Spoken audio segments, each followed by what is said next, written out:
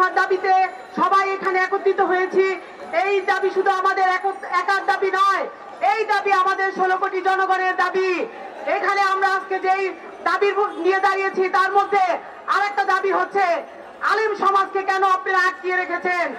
আলিম সমাজরা আপনাদের কেন বিনা বিচারে আলিম সমাজদেরকে কেন মিথ্যা মামলায় জর্জরিত করেছেন? আপনারা আমাদের দেশকে মেধা শূন্য করতে চান আইন শূন্য করতে চান? আপনাদের গর্ব পদ্মা সেতু। পদ্মা সেতু উদ্বোধনের দিন আপনারা তেলাওয়াত করার জন্য একজন আলেমকে পান নাই, একজন বলদকে দিয়ে আপনারা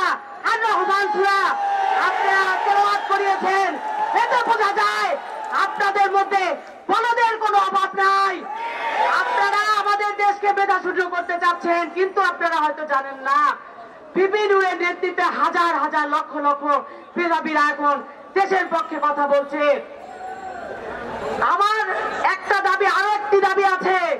আমাদের যে বিচার ব্যবস্থা, মানুষের শেষ আশ্রয়স্থল হচ্ছে বিচার ব্যবস্থা।